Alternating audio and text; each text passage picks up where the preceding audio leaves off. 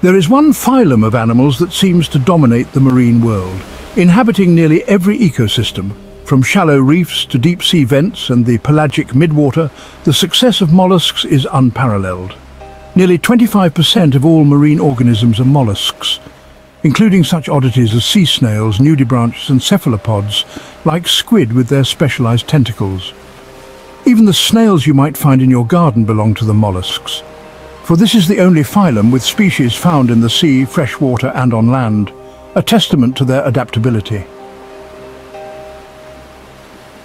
With an estimated 85,000 living species known to science, the abundance and diversity of mollusks is what allows them to occupy a great many niches and habitats and diversify into an assortment of shapes and sizes. The smallest meiofauna mollusks grow to just 0.4 millimeters long, while in the pelagic deep they dominate as voracious predators looming out of the dark. This is the alien world of mollusks. The basic body plan of mollusks consists of some unique characteristics. A sheet of tissue called a mantle covers the body. This skin-like organ protects the visceral mass that contains the organs and digestive system and secretes calcium carbonate to form the mollusk shell. Most mollusks have some kind of foot, a muscular organ that enables mobility. Bivalves, like cockles, use it to burrow into the sediment, while gastropods use it to move along a solid surface. As it brings grazing mollusks like limpets or abalone to food, a barbed tongue called a radula scrapes the food off the rocks. The presence of a foot is what enabled mollusks to become so successful for its morphology could be modified, moulded into specialized appendages as adaptations to their environment.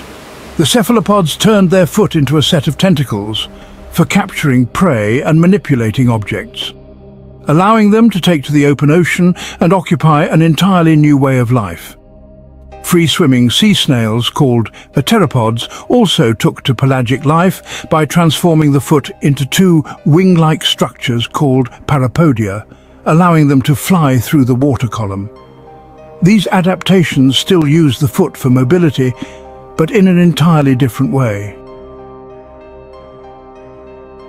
But to find success in a range of lifestyles, the nature of the molluscan shell had to change too. Gastropods, like sea snails, have single-coiled shells, while aplacophorans have lost theirs altogether. Coleoids, including the squid and octopus, have internal shells called gladii or stylets, whereas nautiloids possess air-filled external shells. To better understand how these classes of mollusks differ, we'll take a look at them one by one to discover how they've been able to adapt to a range of environments. The gastropods are the second most diverse class of animals after insects, with over 40,000 living species known to science. The key to their success is their approach to life on the sea floor. While a shell may be a nuisance for pelagic mollusks, it is essential for benthic species. The coiled or conical shells of gastropods are thickened to protect their soft bodies. Some take it a step further. Members of the family Muricidae decorate their shells with spiral ridges and axial varices. The leafy hornmouth has developed three ridges along its shell. These add thickness and texture, preventing the crab from gripping onto the main portion of the shell to break it open. An operculum acts as a door to the shell's opening. It is a bony plate that denies access to predators, but also helps retain moisture within the shell. Its presence has thus helped gastropods to conquer the intertidal zone, a harsh and ever-changing landscape that is submerged at high tide and exposed to the wind and sun at low tide when the sea recedes. Whelks and periwinkles close up the operculum or hide away in rock pools, while limpets, another kind of gastropod, clamp their shells firmly onto rocks to lock in the moisture. The thick, cone-shaped shell and strong muscular foot serve as formidable defense mechanisms at both high and low tide. When submerged, the active limpets spend their time grazing algae on the rocks. But when threatened by predators like starfish, they can be observed using the edge of their shell to fight back, scraping at the tube feet and deterring their attacker. The abalone prefers the flight response. Instead of standing its ground like the limpet, it attempts to outrun the predator, using its muscular foot to flee at remarkable speed. When the predator catches up, the abalone resorts to plan B, using powerful torque to twist its shell and wrench itself free from the attacker's many arms. In the deep sea, around towering hydrothermal vent structures, one species of deep-sea gastropod builds itself a suit of iron armour. At many vent locations, the hydrothermal fluid is rich in minerals, including iron.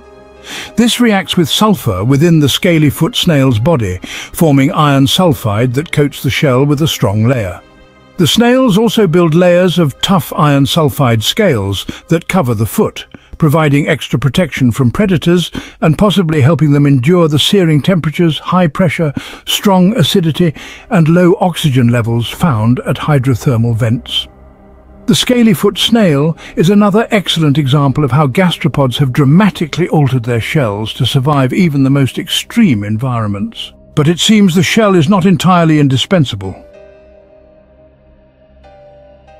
With a name literally meaning naked gills in Latin, the nudibranchs are a diverse group of gastropods that lost their shells in favour of alternative defence mechanisms. These sea slugs instead use their coloration for protection. Some opt to blend in with their surroundings, an example of camouflage. Others, however, display bright contrasting colours to achieve the exact opposite effect. They make themselves stand out, advertising to potential predators that they're not worth eating a behavior known as aposematism. The poisonous nature of sea slugs can be explained by the phrase, you are what you eat. For example, sponge-eating nudibranchs assimilate the sponge's chemical defences into their own bodies, making them distasteful. Other nudibranchs feed on hydroids and store their stinging cells, called nematocysts, in their body wall. The bivalve approach to survival involves using the molluscan shell in an entirely different way. Unlike many gastropods, bivalves are not grazers, so they have no need for a large flattened foot or a radula. Instead, they are filter feeders, so use a two-valved hinged shell and often live either in soft sediments or attach themselves to rocks. Those that live in sediments are known as infaunal bivalves, and they use their elongated foot to burrow down into the sand or mud. There they remain, extending long siphons to take in and push out water while protected by their hinged shell. But this alone is not enough to deter predators. On the hunt is a moon snail, a predatory gastropod that hunts bivalves.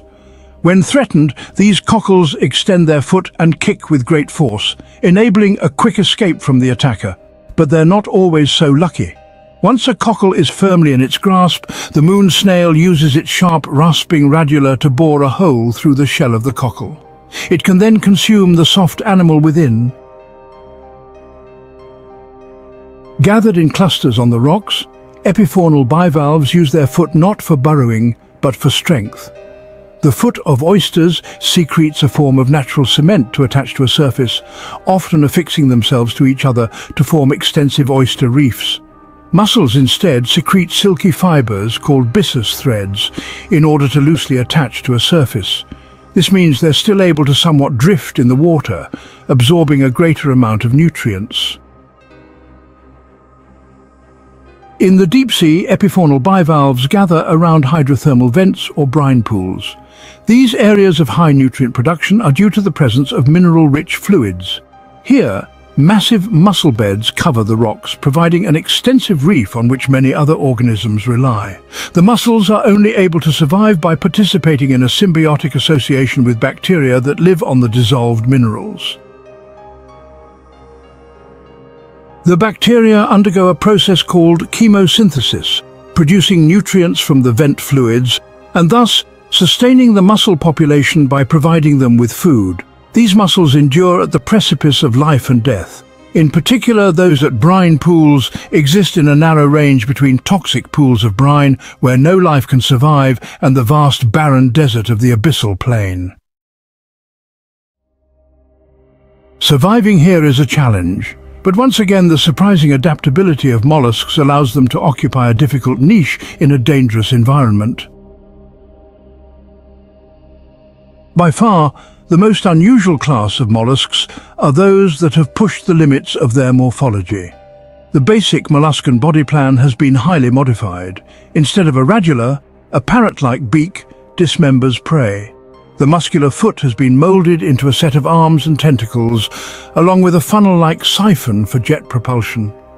Many have become proficient predators, having evolved a well-developed nervous system, complex eyes, and a centralized brain.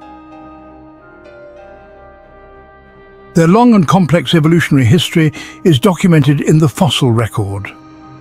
Of the 17,000 fossil cephalopod species, many like nautiloids, belemnoids, and the well-known ammonoids possessed a chambered shell called a phragmocone. But despite its abundance in the fossil record, there is only one surviving genus that still possesses a phragmocone, the nautiloids. Unlike some gastropods who coil their bodies to occupy most of the shell, the soft body of the nautilus inhabits only the final chamber near the opening. This allows the rest of the shell to be used for buoyancy, containing air-filled chambers joined by an internal tube called a siphuncle. This is what enabled early nautiloids to rise from the sea floor and take to the open ocean, using a funnel to expel water for jet propulsion. Despite this, the nautilus is still perhaps the least specialized of modern-day cephalopods, retaining its simple eye and simple brain. Most modern-day cephalopods have done away with their rigid outer shells altogether. At most, they retain a vestigial internal shell called a cuttlebone or gladius for support. These shellless cephalopods are the coleoids, a subclass that includes octopuses, squid and cuttlefish. Their success relative to the early shelled cephalopods was thanks to their range. By wrapping their mantle around the shell, coleoids could survive the high pressure of deep waters, while nautiloids and ammonoids could not. It was their ability to inhabit the deep that saved early coleoids from being wiped out by the Cretaceous-Paleogene extinction event, the mass extinction that wiped out the dinosaurs and many shelled cephalopods. Remarkably, there is a species of octopus that seems rather out of place among the coleoids. This is the Argonaut octopus. At first look, it seems to resemble the nautiloids discussed earlier, with a narrow spiral shell protruding from its back. But there's more to this octopus than meets the eye, for the structure it carries is not a true shell, but a brooding chamber. An egg case that the female produces to carry around juveniles as they develop, secreting the chamber from two dorsal chambers rather than the mantle. As there's no siphuncle, as in the nautilus shell, the female traps a bubble of air in the chamber to keep afloat and sheds the structure once her young have developed. Another coleoid that doesn't seem to fit in can be found lurking in the deep waters of the mesopelagic zone. This is the vampire squid. With thin webbing connecting each of its arms and small fins projecting from the mantle that it uses to swim, the vampire squid looks to be a mix between octopus and squid. In truth, it's neither, and instead belongs to its own order called Vampyromorpha, being the only known species to be classified in this group. Not only is the vampire squid not a squid, it's also not a bloodsucker. It's a filter feeder, extending string-like filaments to capture and eat bits of dead organisms and feces that slowly sink to the bottom as marine snow. Mollusks are a phenomenal example of how marine phyla can harness their environment to maximize diversification. The range of habitats, niches and lifestyles they occupy owes itself to the remarkable ways in which mollusks have morphed and modified their most basic features into complex and highly specialized tools. The arms and tentacles of cephalopods, the parapodia of pteropods, allowing snails to take to the open, the burrowing foot of bivalves, The result of such staggering evolution is a phylum that dominates the deep sea, the open ocean, the shallows and even the land. Thanks to their mastery of adaptation, mollusks truly are specialists of survival.